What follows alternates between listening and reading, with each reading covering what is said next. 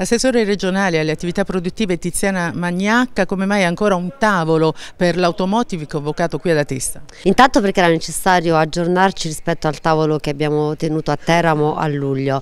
E nel frattempo vi sono state delle evoluzioni sia normative ma anche di consapevolezza, chiamiamole così, a livello europeo, il rapporto Draghi, il grande successo del parere di cui si è fatto portavoce il nostro Presidente in seno al Comitato europeo delle regioni regioni che riguarda soprattutto l'automotive e la transizione giusta e poi fare i conti con quello che sta accadendo in Italia e soprattutto eh, nel territorio abruzzese con una particolare focalizzazione sulla Val di Sangro dove insiste il, lo stabilimento più grande d'Europa per i veicoli commerciali. Quindi facciamo il punto tutti assieme in una logica di alleanza per tentare di analizzare i temi e per trovare insieme delle soluzioni in un tempo di grande cambiamento e ce ne rendiamo conto mano a mano che i cambiamenti accadono. Dobbiamo rivoluzionare nostra, il nostro modello culturale sulla formazione, sul lavoro e il nostro sistema produttivo. Questa è una condizione indispensabile per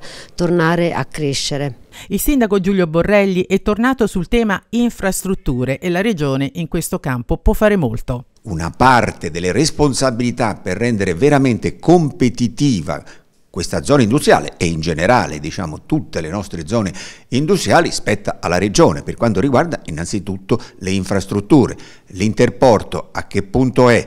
Io penso che le risorse stanziate finora non siano sufficienti, ci sono altre risorse del PNRR che secondo me vanno messe per l'interporto, per migliorare e finire la ferrovia eh, di Saletti, per l'approvvigionamento e il costo dell'energia, che è una delle questioni essenziali eh, Sevel sta provvedendo per conto suo con uno stabilimento biogas che vuol mettere per la produzione del 20% del suo fabbisogno, non è giusto, deve provvedere il pubblico all'approvvigionamento e al costo dell'energia. Ma non solo questo, la Regione è anche responsabile dei servizi e della manutenzione delle aree industriali, della Val di Sangro che è in condizioni disastrose, ma anche di tutte le aree industriali.